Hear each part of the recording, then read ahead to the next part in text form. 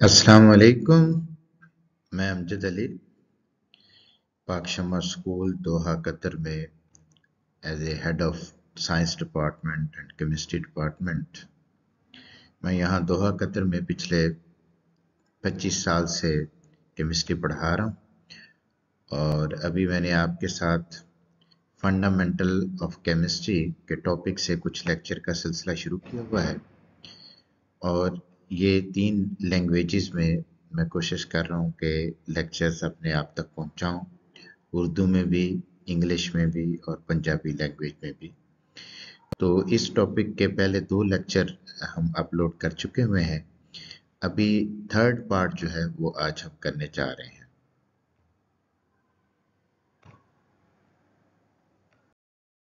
जी, इससे पहले कि हम अपने बाकायदा लेक्चर का आगाज़ करें पार्ट थ्री लेक्चर का। तो मैं आपको थोड़ा सा बैकग्राउंड दे दूँ कि अभी तक हमने क्या क्या डिस्कस कर लिया है इस टॉपिक में। लेक्चर वन में लेक्चर वन जो था, उसमें हिस्टोरिकल बैकग्राउंड ऑफ़ केमिस्ट्री हम बात कर चुके हैं। व्हाट इज़ केमिस्ट्री केमिस्ट्री की क्या डेफिनेशन है, वो मैं आपको एक्सप्लेन कर चुका हूँ। मैटर क्या है, वो एक्सप्लेन कर चुका हूँ। इसी तरह से हमने एटॉमिक नंबर और एटॉमिक मैस वो भी मैं एक्सप्लेन कर चुका हूँ, वो हमने डिस्कस कर लिया है। और अभी जो पिछला लेक्चर था पार्ट टू जो था हमारा, उसमें हमने एलिमेंट्स की पीरियाडिक टेबल की डुप्लेट रूल की ऑक्टेट रूल की ये बात कर ली थी। और लास्ट जो हमने एंड किया था, वो आइन से किया था। और मैंने आपको बताया था कि आइन क्या है। Any charge particle is called ion और अब हम आगे ज़रा उसकी तफसील को डिस्कस करते हैं। मैंने बताया आपको कि आइन की दो टाइप्स हो सकती हैं। Ion can be cation ion can be an anion तो कैटाइन जो होते हैं, वो हमेशा वो होते हैं जिनके ऊपर पॉजिटिव चार्ज आता है। कोई भी एटम अगर इलेक्ट्रॉन लूज करे तो उसके ऊपर पॉजिटिव चार्ज आएगा। अगर कोई एटम एक इलेक्ट्रॉन लूज कर दे, उसके ऊपर एक पॉजिटिव चार्ज आएगा, कोई दो कर दे, दो पॉजिटिव चार्ज आ जाएँगे। तो पॉजिटिवली चार्ज आयन को कैटाइन भी कहते हैं। इसकी एग्जांपल जैसे सोडियम है। अब सोडियम में का एटॉमिक नंबर क्या है? 11 उसमें इलेक्ट्रॉन कितने होंगे? 11 और फ़र्स्ट शेल में कितने? टू सेकेंड शेल में कितने? 8 और लास्ट शेल में कितने? 1 अब अगर ये वन वो इलेक्ट्रॉन लूज कर दे तो इसके, इसका ऑप्टेट फिर कंप्लीट हो जाएगा। अब अगर ये वो वन इलेक्ट्रॉन लूज करेगा तो ये बन जाएगा कैटाइन यानी फिर इसके ऊपर चार्ज आ जाएगा plus one N A plus one बनेगा अगर ये अपना एक इलेक्ट्रॉन लूज कर दे तो। तो इस तरह से ये एग्जांपल हो गई for the formation of a cation anion वो आइन होते हैं जिनके ऊपर नेगेटिव चार्ज होता है। ज़्यादातर नॉन मेटल हैं जो इलेक्ट्रॉन को गेन करती हैं और गेन करें तो अपने आउटर मोस्ट शेल को कंप्लीट करने के लिए तो उनके ऊपर नेगेटिव चार्ज आता है। तो कोई भी एटम जो इलेक्ट्रॉन गेन करे, उसके ऊपर हमेशा नेगेटिव चार्ज आएगा। अगर कोई एक इलेक्ट्रॉन गेन करेगा, एक नेगेटिव चार्ज आ जाएगा, दो कर लेंगे, दो आ जाएगा।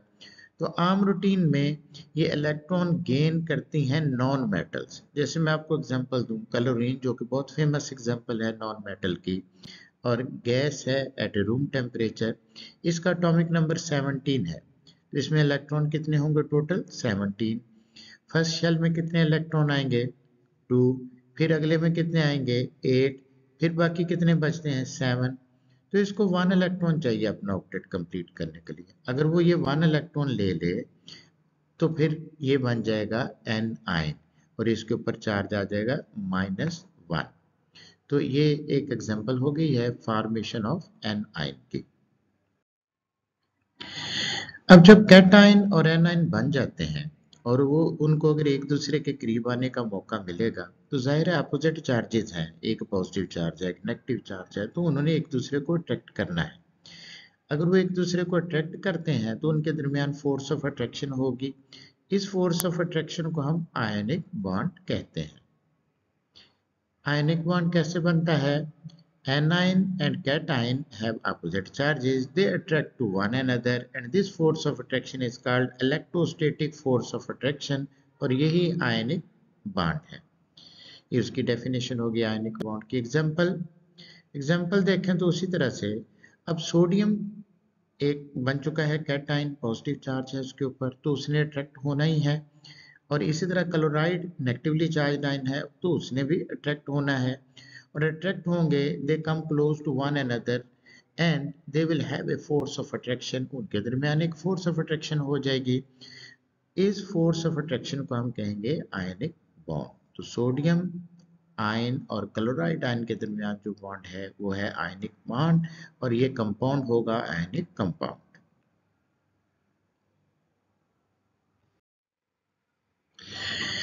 वो सारे कंपाउंड जिनमें आयनिक बॉन्ड होता है, उन सबको हम आयनिक कंपाउंड कहते हैं। सिंपल आम रूटीन यही है कि मेटल और नॉन मेटल वो आपस में आयनिक आयनिक बॉन्ड बनाते हैं और ऐसे कंपाउंड आयनिक कंपाउंड होते हैं। इसके एग्ज़ाम्पल और भी हो सकती हैं। ये टिपिकल एग्ज़ाम्पल हैं। यहाँ पर कुछ सोडियम क्लोराइड सोडियम क्लोराइड को तो सब जानते हैं। टेबल साल्ट है। And it's a best and famous example of ionic compound इसको मैं पहले ही आपको एक्सप्लेन कर चुका हूँ। सोडियम फ्लोराइड भी उसी तरह से एक एग्ज़ाम्पल हो गई है आयनिक कंपाउंड की। अब यहाँ देखें। यहाँ पर सिर्फ़ फ़र्क यह है कि क्लोरीन की जगह फ्लोरीन है। क्लोरीन भी सेवंथ ग्रुप से बिलोंग करती है फ्लोरीन भी सेवंथ ग्रुप से बिलोंग करती है। क्लोरीन के भी आउटर मोस्ट शेल में सेवन इलेक्ट्रॉन है फ्लोरीन के भी आउटर मोस्ट शेल में सेवन इलेक्ट्रॉन है। तो जैसे क्लोरीन के ऊपर एक इलेक्ट्रॉन गेन करने से माइनस वन चार्ज आएगा, वैसे ही फ्लोरीन के एक इलेक्ट्रॉन गेन करने से उसके ऊपर माइनस वन चार्ज आएगा। और सोडियम तो आपको पहले ही मैं बता चुका हूँ कि वो एक इलेक्ट्रॉन जो है वो लूज करता है, उसके ऊपर प्लस वन चार्ज आ जाता है। अब ये कैटाइन और एन एनाइन एक दूसरे के करीब आएँगे और इनके दरमियान फोर्स ऑफ़ अट्रैक्शन होगी तो बनेगा आयनिक बांट तो सोडियम फ्लोराइड भी एक एग्ज़ाम्पल हो सकती है आयनिक कंपाउंड की।